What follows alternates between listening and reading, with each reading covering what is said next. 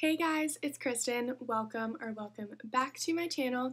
Today I'm going to be filming a video that was very requested by you guys when I filmed my PT school study routine last semester. I got tons of comments asking if I could show how I make my study guides for exams really specifically in detail. So that's what we're going to be doing today. I'm sitting at my desk and I have my MacBook here as well as my iPad. If you are interested in learning more about how I use my iPad for school, I have tons of videos about it on my channel if you want to check those out. But today is a Sunday and I do have an exam tomorrow and honestly have not started studying for it. I over some notes here and there during the week, but haven't really sat down and intensely studied yet because things have just been so crazy and so busy lately. I've been out of town the last two weekends, so it's just been it's just been hard trying to balance it all lately. So that's why I didn't upload a video last week, just because I felt like I was burning out and really just kind of was needing a break. But I'm going to start making my study guide and show you guys how I do that.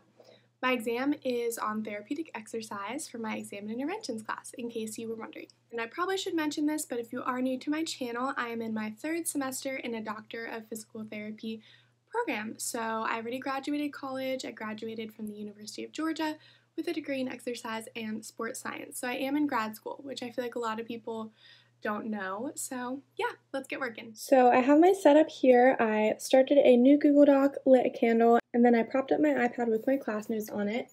Because if you didn't know, I take notes in class like this with my Apple Pencil. So I just download the PowerPoints into Notability and just kind of add anything on the side. But I mentioned this before in my vlogs, it's really hard to study just kind of like passively scrolling like so. So what I like to do is go ahead and type it out in a Google Doc and then print it. So I have a physical copy that I can go through and highlight. So I'm going to get started now. Blue, that's the color you when I met you.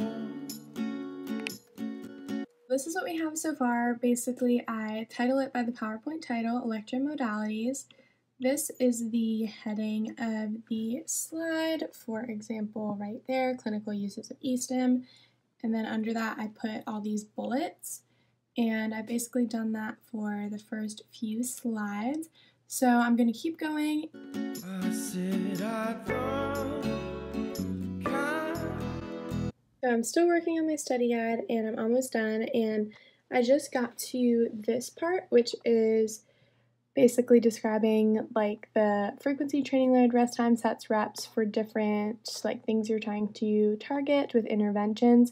And this is something that for me personally would be better in a table. So instead of just typing this I'm going to make a table. Just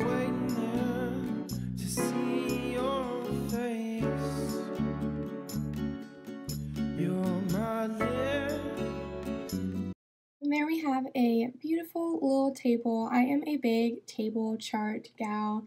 If it is possible to make a table, I do just because like I will memorize this and then when I'm taking the exam, like I can envision this in my head and it just makes it easier for me to learn. So definitely recommend. And I finished typing all my notes, so I'm I just went ahead and changed all of the margins to 0.25 so more information can fit and I print less.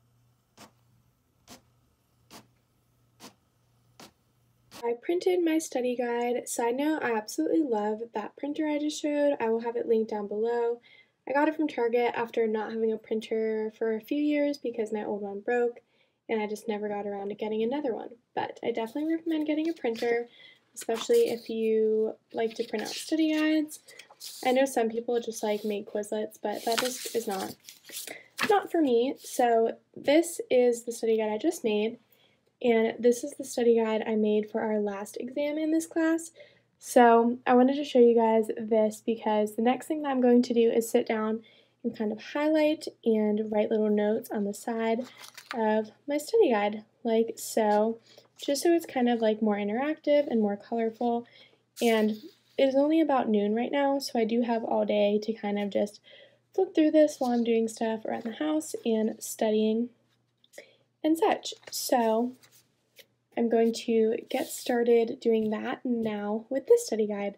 Oh, and real quick, if you're wondering the school supplies I use, this is the Pilot G2.5 pen, absolute fave, and I have these four pastel Stabilo Boss highlighters that are from Amazon, and I have used these since my first semester, so it's kind of funny to look back because all my study guides like look exactly the same. So yeah, I'm going to get highlighting, finish highlighting and writing down stuff on my study guide, and it only took me 25 minutes, so here's a quick look at what it looks like. And I currently am on a five minute break. This app is called Focus Keeper. I always, always talk about it in my vlogs because this is how I study. I do 25 minute sessions with a 5 minute break, and then after four rounds, I get a 25 minute break. So, honestly, this study guide is only six pages. There have been exams where my study guides have been like 40 plus pages, so that's why I'm making it the day before the exam. Typically, I try to make this a week or so before the exam and then split up studying like a few pages of it every single day because I get really anxious about exams and testing and if I wait to cram like tons and tons and tons of information last minute, I literally have panic attacks. Three minutes until I have to start studying again, and then I have three 25 minute rounds, and then honestly, that should probably be enough studying. So I'll move on to doing some other homework or something. But I do want to show you guys some other study guides that I have made in the past. I made this binder after my first semester of PT school, and it has all of my old study guides in it and I added a, a divider for every class. So I literally have like every study guide I have made in PT school so far in here.